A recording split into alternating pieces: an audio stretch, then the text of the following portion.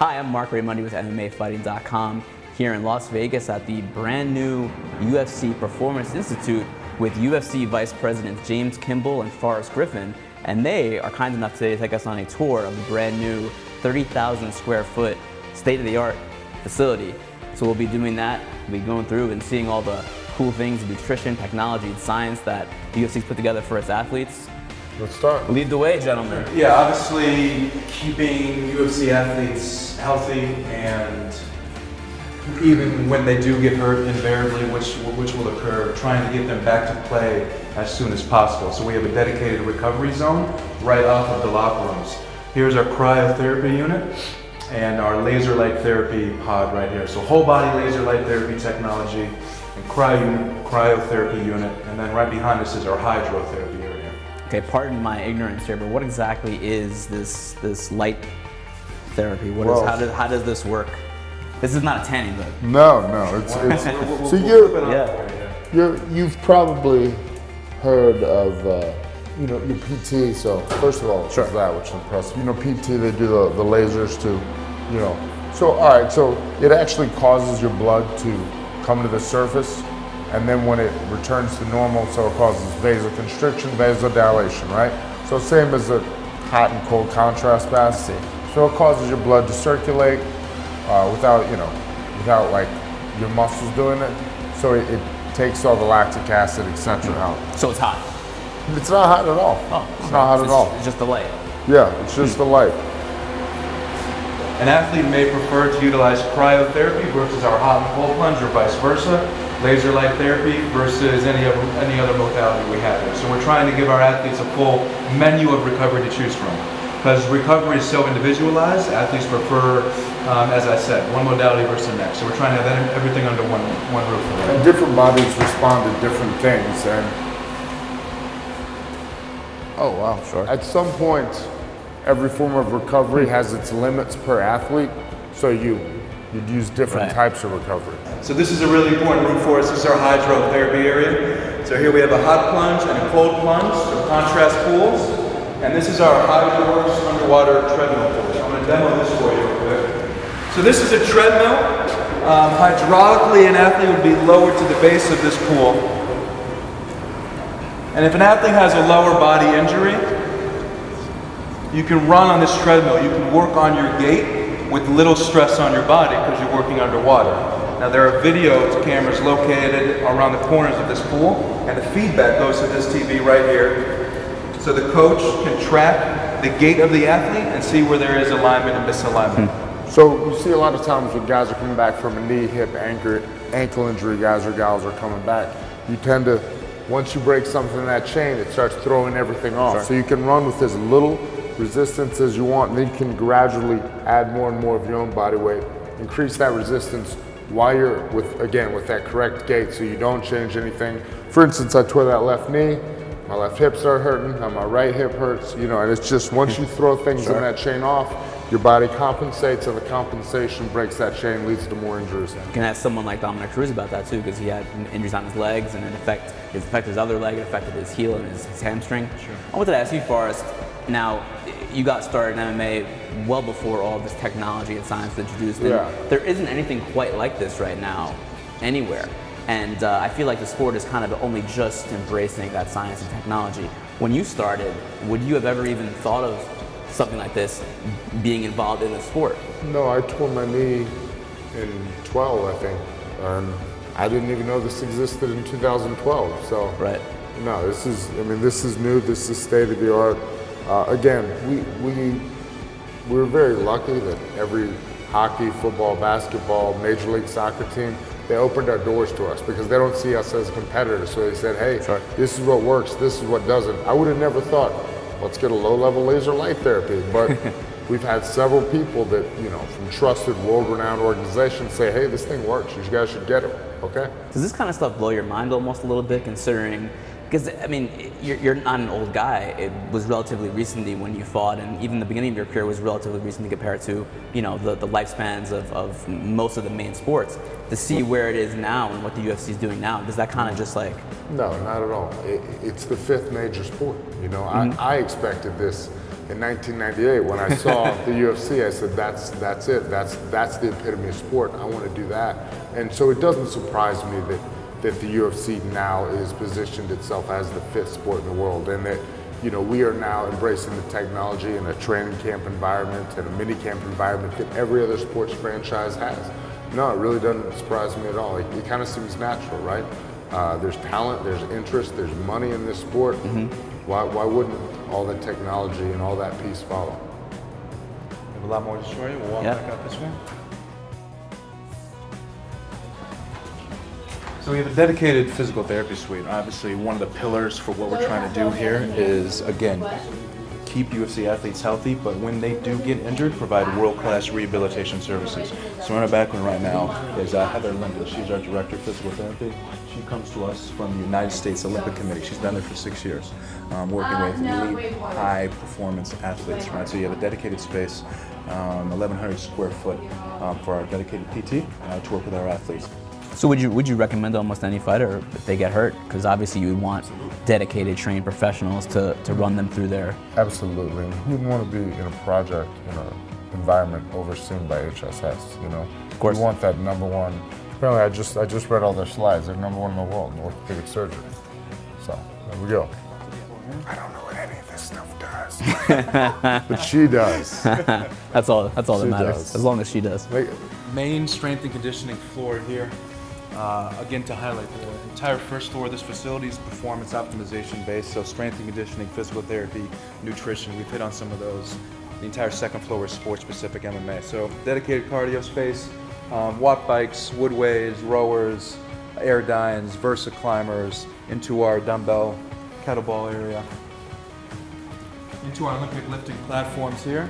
So four racks dedicated, um, state-of-the-art technology as well. So each of these racks have video camera analysis capabilities.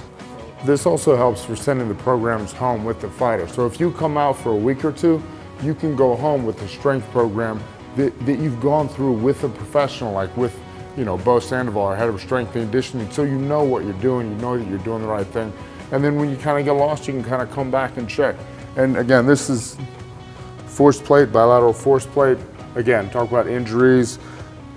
If you train correctly, if your weight is equidistance, you're not going to get hurt. So, and that's, you know, that's that injury prevention piece. Again, the elite form, uh, like I said, bar speed, measurement, stuff like that. Something you're measuring. So if you go away for a month and you come back, you've gotten slower. you you've gotten faster. What did you do? Like, you know, that clinical look. What changed to make you get faster? Let's keep doing that. Or what, you know, what's happening? So How much will the coaches and, and doctors here communicate with the coaches at the fighters' gym, Yeah. the, the individual fighters' gyms? Will there be a little bit of a give and take and back and forth? We're not trying to supplant their coaches. We're not trying to infringe on the team that they're already involved in. That's great.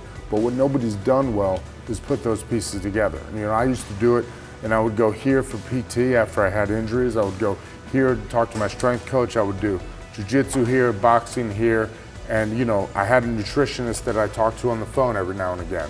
So now you've got a nutritionist and a strength coach and a PT that are all going to talk together. And so the only thing you have to tell them is this is how much I did my MMA sport specific workout. This is my rate of perceived exertion. So, and now you're even keeping track of what you're doing, you know, your skill work, and you're seeing how that works in, and how that, you know, works in with strength conditioning, PT. Again, I see a lot of guys that crush in the, in the weight room, and later that day, they go hit mitts and they, they don't look good. They don't look good when they need Sure. to look good. So, When, when you were fighting, Forrest, uh, is there anything about this facility, any one thing that stands out, and you say, man, I wish I, I wish I had this? There's a lot of things, and especially later in my career when I started having knee and shoulder injuries. So I, I wish I had Heather, a, a good PT that was free of charge, that I could see, you know, three times a week. So a PT would have been one, but but the other would be exactly what I said: a nutritionist that talked to my strength coach, that was on the same page, that- a PT that talked to my strength coach. So so just the communication between those coaches, and that's why this is a nice space where everybody communicates and you can see we're they're you know still mm-hmm. we're, we're talking. There's, this athlete's doing X today, and like James mentioned about the nutrition, that's so important for the nutritionist to talk to the to the athlete themselves about their MMA mm-hmm. workout, and then to the strength and conditioning professional about hey, this is what I'm lifting today. This is, we're just doing 30 minutes today. Okay, let's dial back the calories. Mm-hmm. It's actually a good time to mention the hypoxic chamber. So within 40 minutes, this can be at any altitude on earth you want. There's just this in- behind the glass. So. It's a sealed room. Yeah. The great thing about this for an MMA athlete would be when you're getting close to a fight and you're a little beat up, going in, go in a high oxygen, or low oxygen, I'm sorry, atmosphere, high altitude, low oxygen, and get your cardiovascular work in without putting a lot of strain on your joints, your back, your hips, and your knees. Make sense? Yeah. So that's that's how you would keep your, your lungs going the last couple weeks before a fight. I've already gotten a few workouts in on this track. Because when they were building the rest of it, this was the only thing you could work out in. So again, obviously you have the aspirational graphics around the facility, uh, this indoor track. Not to hide again. For your tires, your hurdles, battle ropes, med ball rotational work at the base of this track. It- We're walking towards our impact wall right now, so that's a 90 degree impact wall. So obviously in this sport, rotational uh, power and torque is, is paramount. So this is where you take that med ball and you'd be lined up right here and your, and your coach is calling out three, four, A, B. And that's and you're serious med ball. cognitively, and you're cognitively training alongside the, the physical um, component of this as well. You notice another thing as we walk around, it's, it's really hard to get lost here, you know. The people that built this also built casinos, but they built this the opposite. In casinos, you're always lost. This place, you always end up where you're supposed to be, you know. Uh, we built it with our locker rooms being the central point, athlete-centric. So every time you kind of go anywhere, you end up where you're supposed to be. We have everything you'd need here, including shades on these windows. Full-size boxing ring, suspension frame. Uh, so we've actually been doing some warm-ups up here with fit lights. Something we saw as we kind of we went to different facilities instead of just static jumping rope or running. Guys were warming up with fit lights, kind of warming the mind up as well. And I thought there can't be a better sport to warm up your reaction time than, than fighting, right? Uh, bag area, we got a, this is actually really cool. It's not just a bar toy over here. The power cube, so it can tell you how hard you're hitting. And so, I mean, you know, everybody the first time they have to yeah, of course. throw the baseball, but then you sit down and you throw across, and then you you move your leg back and you throw the cross, or you lean forward and you throw the cross. Or the, the protocol the guys gave me was real good. You throw five of each, or three or four punches, and then you do a couple rounds on the bag, and then you go back and you throw them, and you see how much you've changed, you know? If you're gradually, you know, throwing five or six punches, and then three minutes or six minutes or five minutes, whatever the rounds, and then you go back and you can kind of see, you know, see your recovery. Uh, see, something I learned even that I didn't know, and I've, I've owned a gym for years. These are two inch mats. The mat in the octagon is only an inch and a quarter. These are inch and a half, two inch. Uh, octagon, inch and a quarter. It's the exact octagon an athlete fights in. Full size. Full size, 30 foot, not the uh, not the Palms octagon. the only difference, obviously, is the canvas, and I mean, or I mean the vinyl as opposed to canvas. But if you've ever been on the canvas, you'll know it, it eats your elbows and knees up, and it's not it's not possible to clean and sanitize. So that's the only difference. The thing that makes, uh, if you look up, you see it looks pretty damn impressive. That's competition lighting. So that's pretty much the same lighting you're going to get when you're actually in the octagon. The thing that makes it special though are these Nikon cameras. Those are the high def, high, you know, they show the graphs and stuff. I'll kind of show you. And so this, we're moving in there, you can see where people are. You know, kind of track if your head's over your foot or if you're falling down. Um,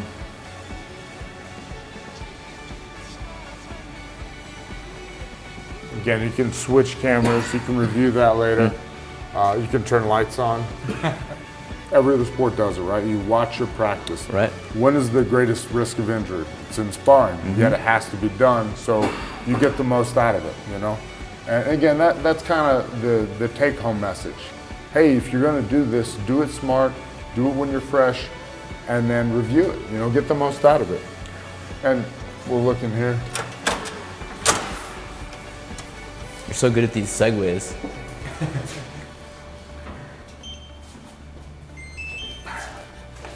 You guys be spending a lot of time in here. Yeah. Is this the new media room?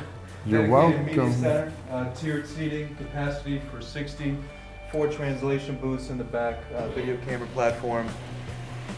It can be closed off to the second floor, but at the same time, it can be opened directly onto our center of competition, which is the Octagon. So- So, you can imagine announcing a main event for UFC 220. Uh, the video spot hits, curtains go back, athletes are squaring off. Maybe like a hospital for special services partnership could happen here, you know.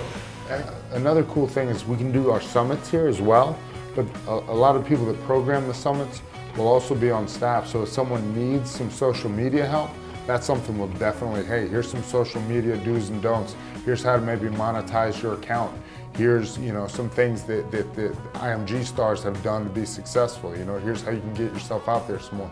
So that's definitely something, if an athlete has a couple hours to kill, between workouts that we'd love to get them involved with our social team. We have a really good one here. Um, and then, you know, as, as far as, you know, again, those events that I, I really like, the, uh, the new fighter summits and the, the veteran fighter summits, uh, 20 to 40 athletes, kind of in the same place in their career that need the same help and assistance in life. And that's, you know, that's one of the better things we do here. So this is it. This is our relaxation lounge. Um, the aforementioned nap pods around the corner here. so the logic behind this room is to build a non-gym room in a gym, right? So if an athlete has a 10 a.m. training session and a 4 p.m. training session, they don't have to go back to their hotel, right? They can dine on site at no cost, come back here, play Xbox, watch movies, review film in here. Those nap pods uh, provide vibration and they play ambient uh, music and lighting as well. It's, it's, it's time to refresh and not be in that gym environment, Exactly. except for the MMA games. But you play football games too. Those are pretty legit. Nobody on the staff's ever used them. People tell me. We time to The athletes tell me that they're pretty good. Yeah. This is obviously a very expensive institute facility. We got it on the cheap. Eight, eight to 12 Craigslist. full-time employees. It's a major investment in the sport. One that there may not be a, a tangible, short-term. I mean, you know, But there's not going to be on it, you know? with the Cleveland Clinic or with the Hospital for Special Services partnership. Again, it, it's a lot like you know with, with the deal with Reebok. You're, you're trying to become. It's that aspiration. We want to be the fifth major sport. You know, we want to, to treat our athletes like every other athlete. That's what you know. That, that it's part of that mission. This is an investment in the athletes. It's an investment in the sport. This is not meant to. This building will Lose not, This is not meant Yeah, to be. I was say, you guys are gonna lose money on this, yeah. But indirectly, we know that it'll impact the sport in, in, in, in the sense that we envision it. You know, I, look- I, t- I listened to Lauren speak the other day uh, about the history of the UFC, and, and it, it's it's in keeping with UFC running towards regulation. Let's make it as safe as it can be. Let's regulate. Let's study the effe- effects of the sport on the body. Let's, you know, i again, it's that it's it's forward thinking. It's very progressive. This is the media holding lounge. Yes, so a dedicated lounge uh, for media. So again, All right. going to the theme of this campus and the efficiency of the design, dedicated entrance for staff. On the west side of the campus, dedicated entrance for athletes directly below us. Right now, we're standing above reception uh, when we have formal press events. Is there anything I didn't ask you about that you'd want to you want to share or? No, I, I can honestly say I'm very I'm proud to be a part of this. You know, it's a great group of people. Um, it, it, thinking back, you know, I was just thinking today, we're just having our first debrief after day one. We got the head of, of performance that we wanted. We got the, you know, we got the VP of performance, Duncan. He was the guy we wanted. We got the nutritionist we wanted. You know, we got the strength coach we wanted. We got the PT we wanted. We were really fortunate uh, to get all these people that wanted to be a part of such an integrated high performance program with, you know, Olympic level backgrounds from, you know, multi countries, multi, you know, so, you know, I'm, I'm just really happy we got the staff we did, even the interns. I'm excited. Now, the point is, this is a world-class facility, but we've assembled a world-class staff. Yeah.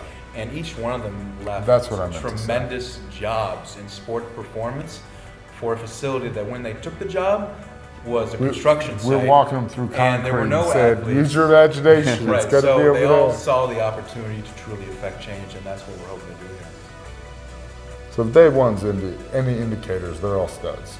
Well, this has been uh, a great tour, guys. Thank you so much. He's already taken off. Forrest is already taking off his microphone. But uh, for Forrest Griffin, for James Kimball, I'm Marc Raimondi for MMAfighting.com. Thanks for hanging out with us. Bye bye.